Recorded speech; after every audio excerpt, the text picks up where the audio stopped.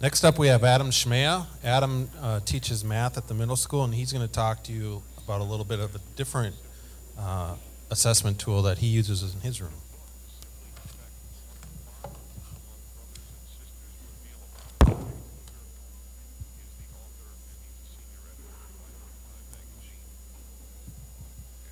Uh, no, I don't need volume.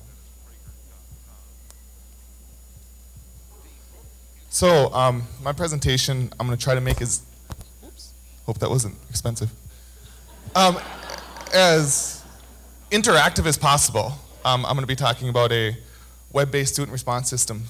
And if you have any web-enabled device on you right now, take it out. Um, 3G or 4G, whatever you have, is the only thing that's going to work. The guest network that we have going, Wi-Fi right now, isn't going to work for what I would like you to do. It'll make it my job a little bit easier. Um, I'll probably be a little bit less nervous. By the way, any um, speaking class that I've ever had, always the prof professor always told me to picture my audience. you know what? All of you are seventh and eighth graders right now. All right. I'm trying to run a laptop, cell phone, and iPad at the same time. Perfect. So, my topic today is a student response system called Socrative. I just found out that it's pronounced Socrative last night. Um, the last five months or so, I've been calling it Socrative. So all of my students have heard it called Socrative. So that's how I'm going to pronounce it. It's a web-based student response system that I use for instant feedback in the classroom 99% of the time on the fly. I do not have any pre-made questions. I do not set up anything special. And it takes about as long as having students take out a notebook is about how long it takes them to get set up and going.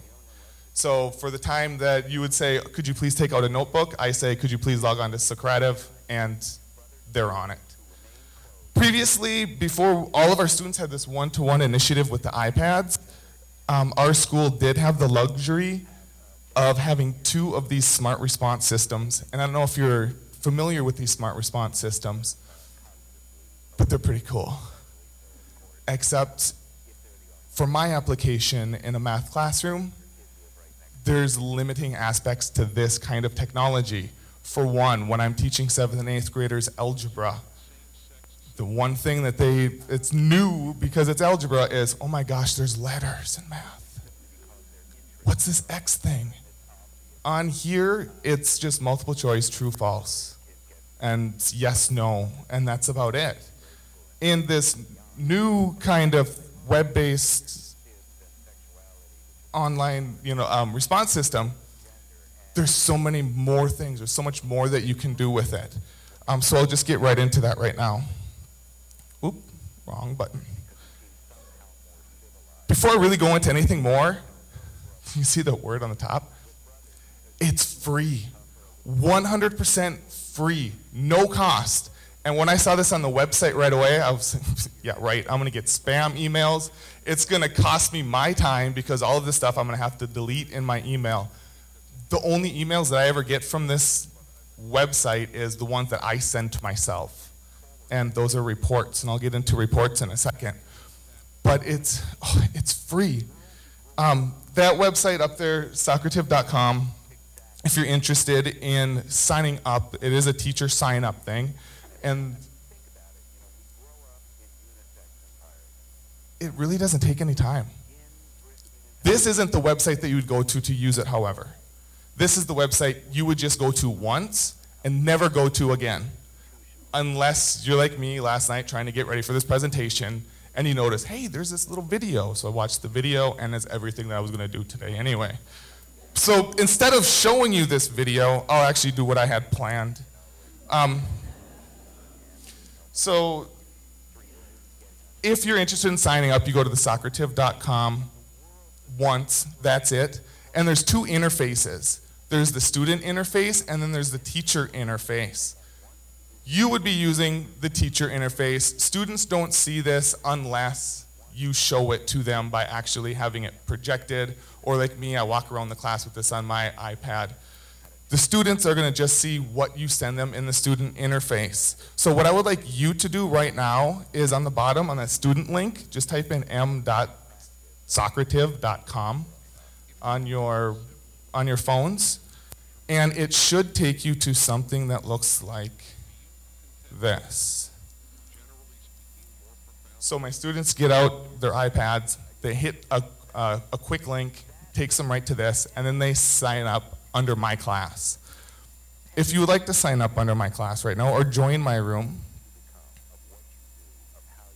my room number that I set up for myself is, did I kick that out? LFCMS 128.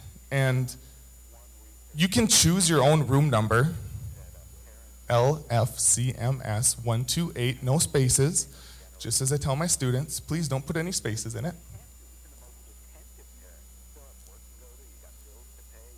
Okay. I chose LFCMS hoping that my students would be able to memorize this. My room number is 128, Little Falls Community Middle School, LFCMS. You would think they all would memorize it. We are five months into using this. And I still have to remind them no spaces. But I guess it's the battles you choose. Okay. Oh, nice. Teacher end looks like this. On the top, you notice that you can see my room number and just make sure that I'm signed in. I'm in LFCM 128. I have 70 people active in this room right now. Thank you very much, those 70 of you. I know there's a lot more of you in here, so come on, join. If I was in class and I wanted to make sure that my students were signed up, because sometimes the links don't quite work, I might send instantly a test question. This question has nothing to do with anything. Right now, my teacher machine isn't changing, but yours is. And it will be a true and false question. And just to make sure that they know that they're signed into my class and they're getting the information that I want them to get, I'll say, just click a button as soon as you get the test question. And from my iPad, I can see how many people are registering. And this is 100% live. And instead of waiting, because I'm on a time timer, I can scroll to the bottom I would wait for all of my students to answer make sure that I have all of the, the people registered.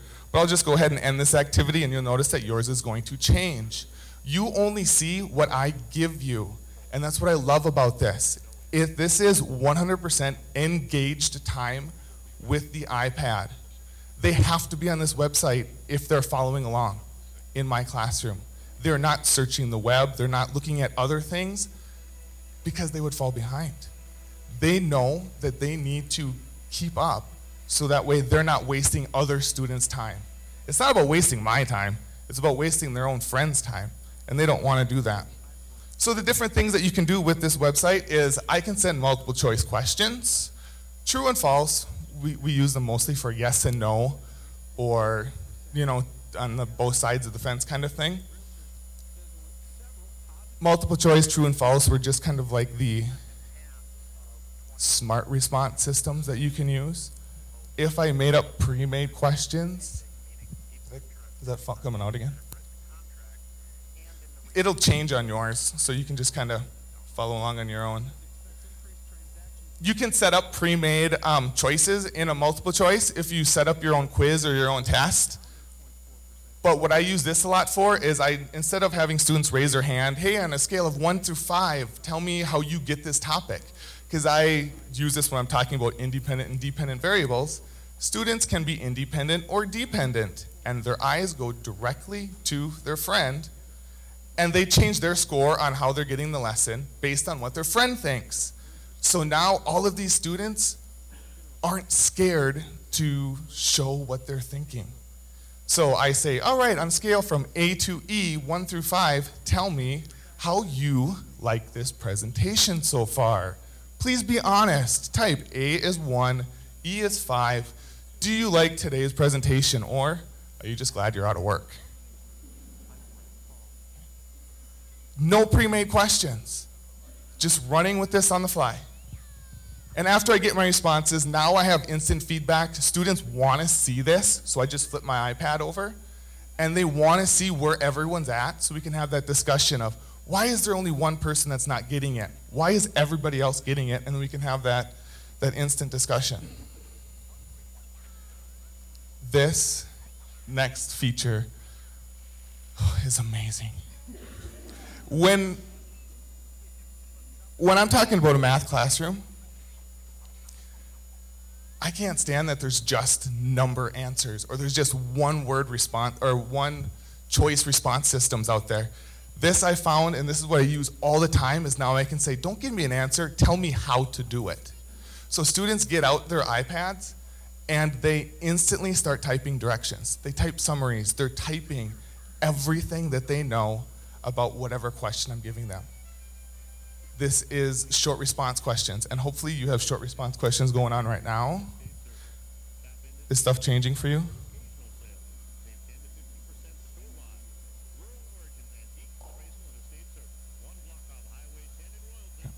But anyway, if it, if it was working, I must have ended something. Is you'll see this text box come up, you can type whatever you want, but as you're typing, me as the teacher, I can see what you're typing. There will be, you can just type anything if it's actually working for you. Just hit letters, buttons, whatever. And it'll start popping up under my responses. I can look at those responses, I can send those responses back to the students. The students can vote on those responses of which one do they think is the best. Did they have the best one? Did somebody else have the best one? And you see those red X's along the side? You know, there's always that one smart aleck student in the class that likes to type something. I get to choose which ones go back to them. So I can hit that little red button and not send those ones that if I don't want their name on it, they don't put their name on it and so forth. So, hey, somebody remembers my name. This is the bomb. See, if I saw that in class, I'm like, this is the bomb. Really? Do I really want to send that out to somebody? Sorry if that was yours. So I can just choose to not send it, go to the bottom, and then vote on responses. And you can do exit tickets, which are pre-made assessments. You can set up your own tests and quizzes for this. So now you'll get results. If you want to see more about the results, you can um, stop by my station. I can show you some more stuff about results. They get emailed to you. But overall, this is a 100% free student response system that doesn't need an iPad. It's pretty cool. Thank you very much.